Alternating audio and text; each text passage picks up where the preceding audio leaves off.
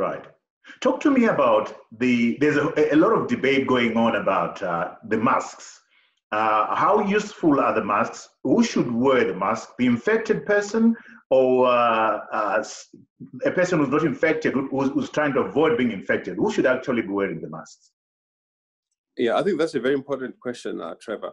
I think what's happening is that um, regarding masks, I think, you know, as the disease evolves, uh, people's uh, advice, or rather the advice from WHO and authorities is changing.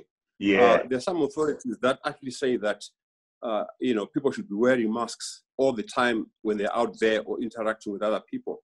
Now, the challenge with that is that the number of masks that are available is not enough mm. uh, to, you know, to meet that sort of uh, a standard where everybody is wearing a mask.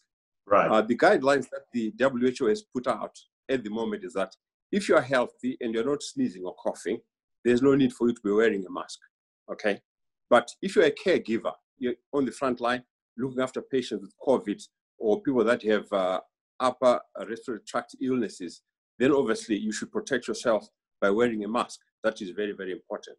Mm. Uh, if you yourself are unwell, you're sneezing, you're coughing, you obviously should wear a mask so that you know you do not infect other people. Now, in saying that, it is important to know how to wear a mask. Right.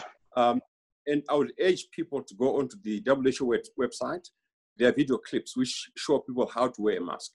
Because quite often people put on a mask and then they touch the front of the mask and you know infect themselves. Mm. Um, wearing a mask does not remove the other things that you need to do, like washing your hands and social distancing. It's just mm. part of the many things that we have to do to minimize your chances of getting infected.